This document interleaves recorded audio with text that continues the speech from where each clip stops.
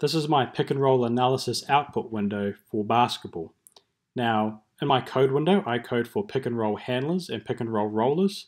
However, pick and roll is a bit of a broad term and it can also include other pick plays, so pick and pop or pick and slips. I'm just using pick and roll as the general term.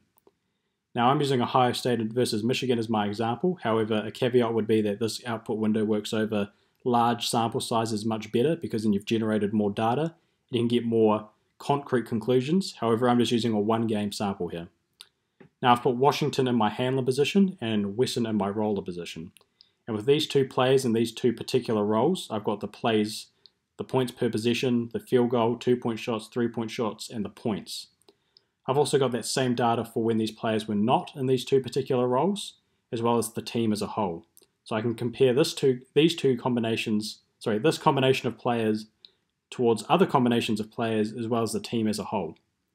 Below that we've got the shot chart, so we can see how this combination of players results in different spacing or different shooting efficiencies from different areas on the court. Now when I pick one of these players and toggle them, and then press execute just to speed up the scripting, we can see how, for example, Washington performs in the handler position no matter who is the roller.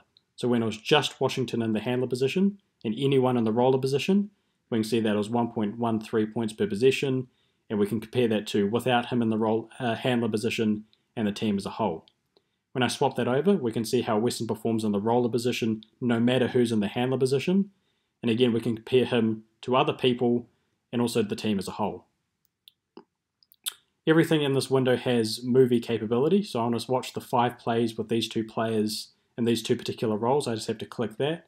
I want to watch all the three-point shots without these two players in these two particular roles. I just have to click this. I want to see, you know, all 21 points scored by the team in pick and roll actions. I just have to click that. That works also with the shooting charts. So that's my output window.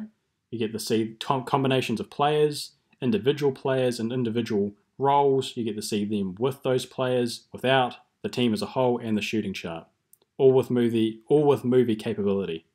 If you have any questions about this output window, my email is in the description.